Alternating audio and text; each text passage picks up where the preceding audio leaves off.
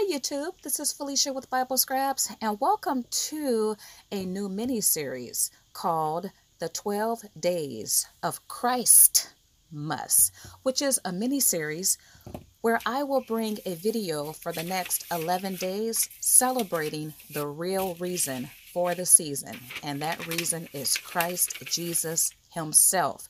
And I will be creating in every video something that I called a rubber stamp snippet roll fold, something like that. It's a new concept that I developed recently. And basically, I'm using receipt paper. You can use actual receipts, but I have a lot of receipt rolls that I got from a thrift store. And I will be creating a rubber stamp collage. Now, this creation, it's perfect for you junk journalers.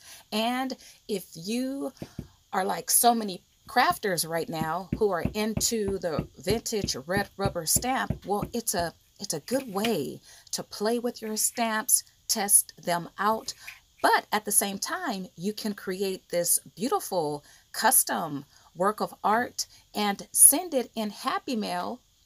And once again, it can be used as or used in your junk journaling. All right, I got a question for you all. Do you Christmas carol? Have you ever been Christmas caroled to? Have you ever seen anybody Christmas carol? Is it even a thing today to Christmas carol? Now, right before I filmed this video, I remembered the first time, or it's my earliest recollection of Christmas caroling. I remember thinking, Christmas caroling is so white because black people do not Christmas carol. you see, what had happened was I I was about 17 or 18 years old, and I was with my brother at his surrogate family's home, and they all decided to Christmas carol. So I went with them. But you know what? I remember it was so fun. It was really cold that night, and thank you, Lord. I'm kind of having flashbacks. You guys know I don't remember much. But anyway, it was cold that night, but I remember how festive it was. I remember how unique it was. We were the only ones out there Christmas caroling. But you know what? All the recipients were receptive. They were overjoyed. I believe that Christmas caroling, it's a lost art today. It's a lost experience. But I tell you, if you have yet to Christmas carol, Put that on your Christmas bucket list. The experience is so enriching. Okay, so since then, because that was a long, long time ago, since then I have Christmas caroled even more. I used to have a children's ministry at church, and part of our ministry was to make handmade cards and deliver those cards to um, patients at the local children's hospital and to to those at the convalescent or rest homes. And I recall in particular, maybe about 15 years ago, actually, the ministry was birthed in my home before I took it to the church. So um, I had different kids come to my home and they were a part of this ministry, but nonetheless, we all Christmas caroled at a local convalescent hospital. And people, let me tell you, we did the whole hospital. We did not leave one room, one patient. We did everyone. But I remember it was this one particular gentleman, and the nurse warned us that he was mean. He was antisocial and mean. But I wasn't going to leave that man out. So me and the kids, and I had a my good friend with me who helped me with this ministry. We all walked in to this this man's room. And yes, he looked mean.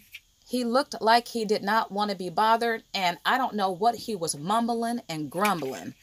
But people, we sang to him. I don't know what songs we sang. It was probably We Wish You a Merry Christmas and Silent Night because I really didn't know a lot of songs at the time. and we just kept re singing the same ones over and over and over again. But something amazing and transforming took place. This man who was angry, I don't know if he was bitter, but he broke down. He broke down and caused the staff to also cry. And I remember one of the staff members walked up to me. She thanked me, she thanked us, and she told me she had never seen this man show such raw emotion. He was moved. Whatever that burden was, whatever had him chained, made him angry, it fell off him that day because we sang. We sang to him. And I hope to never forget that experience.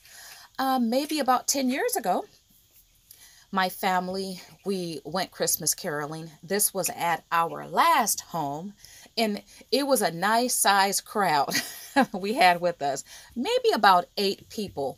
And I remember something happened at the first house we went to. Um, I thought the lady, well, she opened the door and then she shut it real fast. And I was like, uh oh, we just got the door slammed on us. but she didn't slam the door. She went and got money and tried to give us money. And I thought, no, we're not here. We're not solicitors. so I don't know. I think someone in our group, perhaps my mother in law, stated back in the year that's what they did.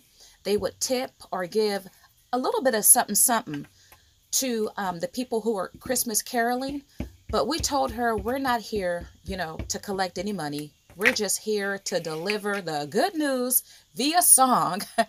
and she was so overjoyed. As a matter of fact, every house we went to that night, I want to say one person probably cried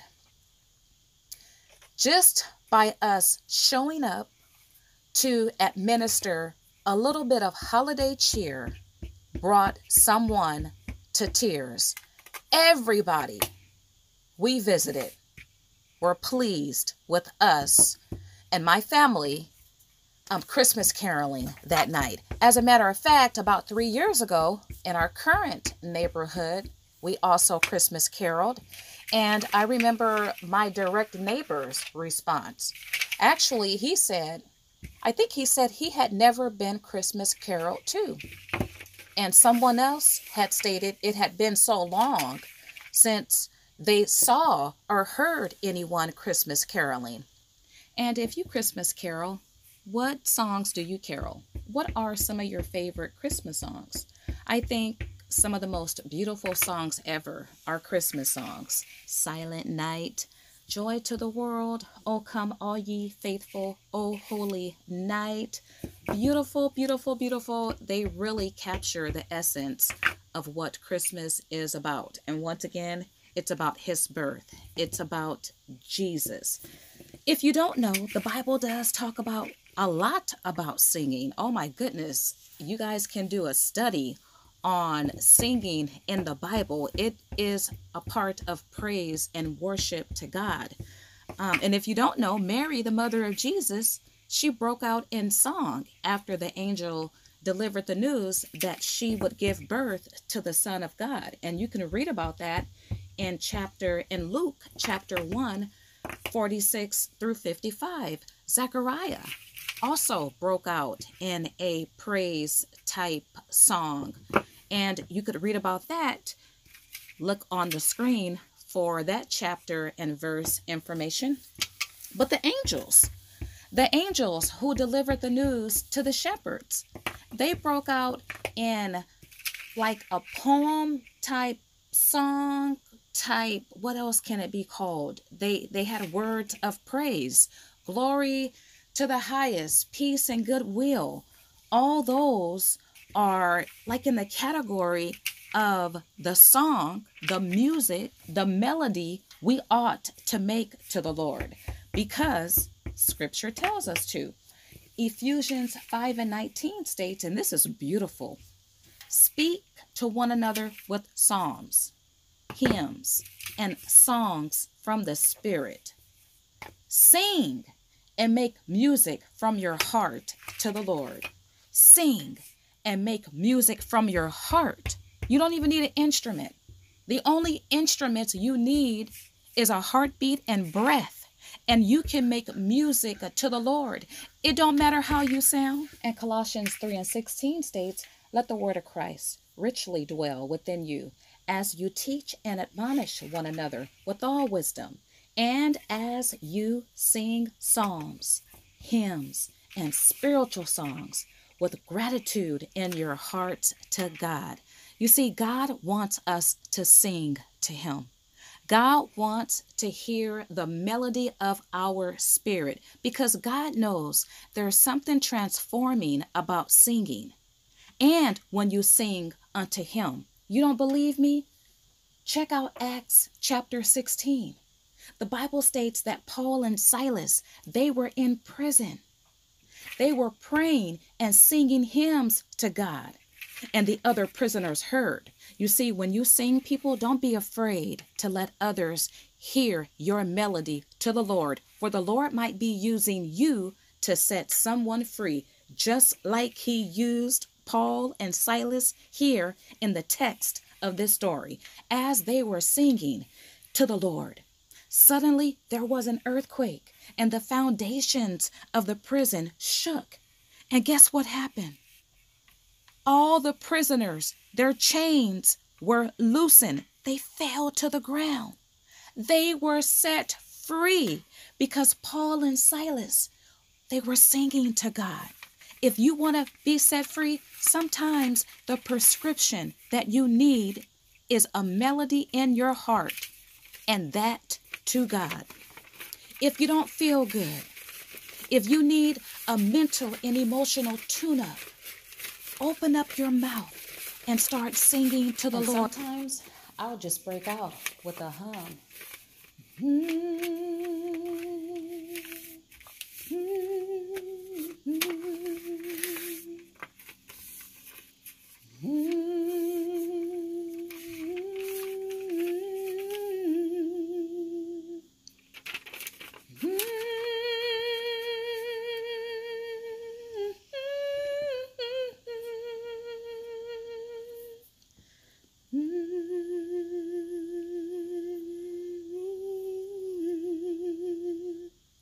The point is, there's a melody, there's a song to be sang to the Lord that only you can sing. And God is waiting for that melody. So, whether or not we Christmas carol this season, whether or not we sing at all, whether or not you think you can sing, just know there's a carol in your spirit that only you can sing to God. So open up your mouth and hymn, hum, ooh, ah, praise, shout, but offer that song to the Lord. If you like this video, why not like it? Give me a big thumbs up. Don't forget to hit that bell for notifications if you are interested in my future uploads in this series. Also, share your Christmas caroling experiences below. All right, you all, I want to thank you all for watching. As always, blessings. I wish you a Merry Christmas. I wish you a Merry Christmas. I wish you a Merry Christmas and a Happy New Year.